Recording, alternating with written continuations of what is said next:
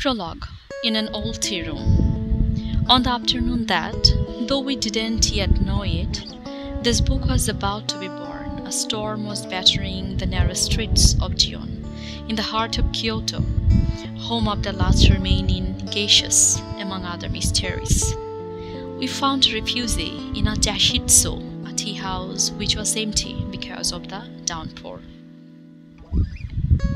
Sitting at a low table beside the window, we noticed that the torrent of water rushing down the narrow street was sweeping with it sakura petals from blossoming cherry trees. Spring had sprung and summer was on its way, and soon nothing would be left of those white petals that inspired suspicion in the Japanese. An elderly woman in a kimono asked us what we would like and what we chose the most special variety of tea on the menu. A Gyokuro from Ureshino, a place in the south of Japan where the best tea in the world is said to be grown. As we waited for the steaming teapot and the cups to arrive, we shared our impressions of Japan's former capital. We were amazed that there were 2,000 temples in the hills surrounding the city, whose population is smaller than that of Philadelphia. Then we listened in silence to the rain pounding the cobblestones. When the old women returned with a tray, the tea's fragrant aroma aroused us from that brief and pleasant torpor. We lifted our cups to see the bright green infusion before savoring the first sip.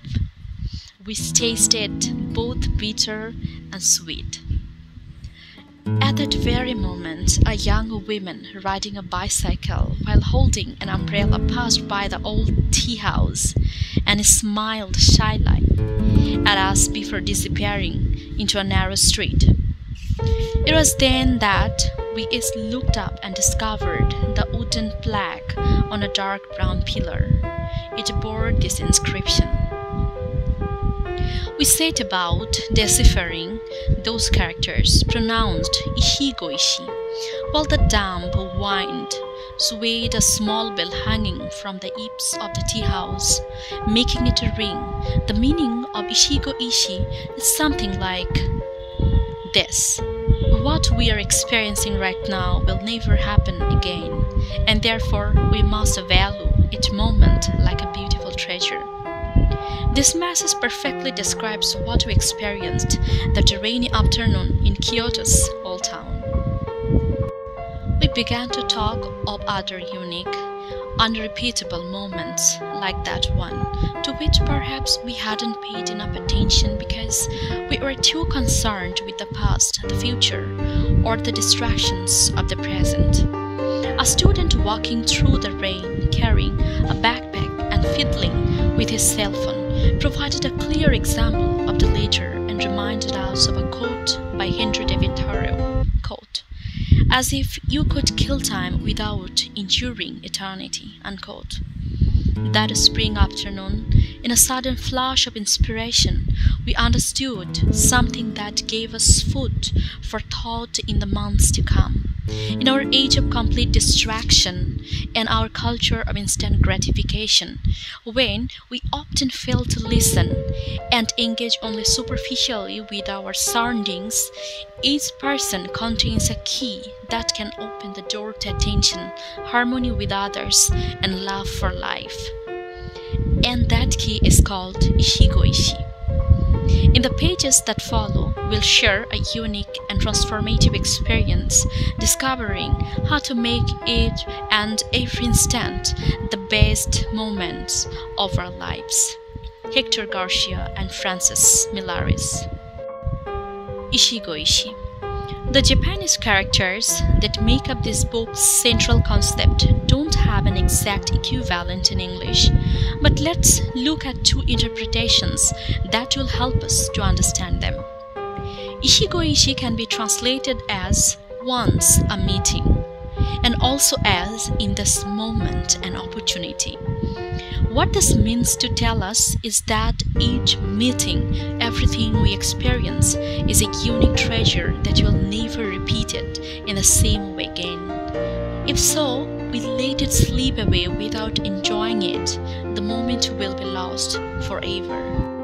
The Gates of Shambhala a Tibetan legend illustrates this concept very clearly. The story goes that a hunter was pursuing a deer across the frozen peaks of the Himalayas when he came upon an enormous mountain split in two, allowing him to see what was on the other side. Beside the opening in the mountain, an old man with a long beard beckoned to the startled hunter to come closer and see. The hunter obeyed and peered into the vertical crack that was just wide enough for one man to pass through. What he saw left him breathless. On the other side of the opening was a fertile garden, bathed in sunlight and seeming to go on forever. Children played happily among trees laden with fruit, and animals fro- frolicked freely in a world filled with beauty, serenity, and abundance. Do you like what you see? The old man asked when he saw the hunter's amazement. I like it.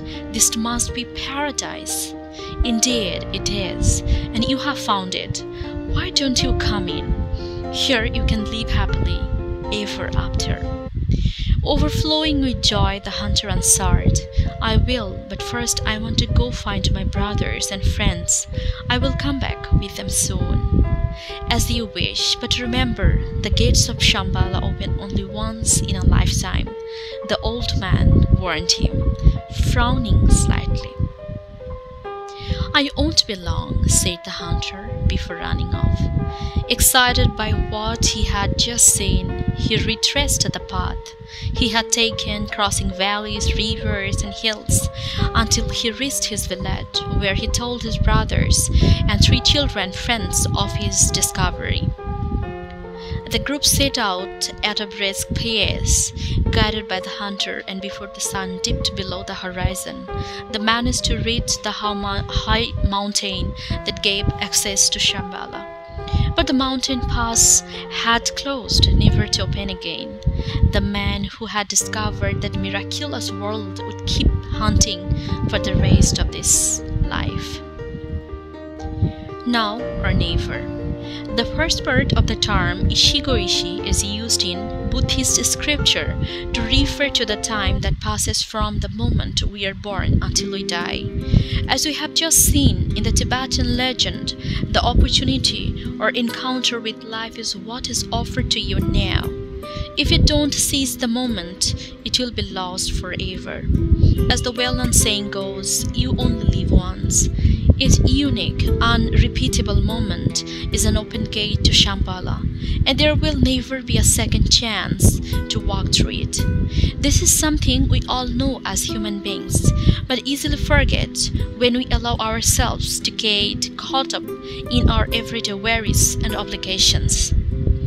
Becoming aware of Ichigo ichie helps us take our foot off the gas and remember that each morning we spend in the world, every moment we spend with our children and with our loved ones is infinitely valuable and deserves our full attention. This is the case first and foremost because we don't know when life will end. Each day could be our last. No one can be sure when they go to sleep that they will open their eyes again in the morning. There is a monastery in Spain where it is said that whenever the monks run into each other in the passage, in the passageway, they say to each other, Brother, remember that one day you are going to die.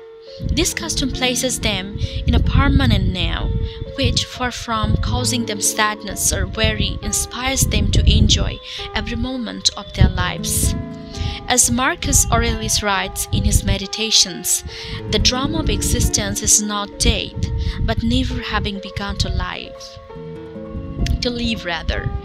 Ichigo ichie is a clear invitation to now or never, since though we may manage to live many years, Every mating has a unique essence and will never be repeated. Perhaps we'll run into the same people in the same place again, but we'll be older, our situation and our humor will be distinct. We'll be carrying the weight of other priorities and other experiences.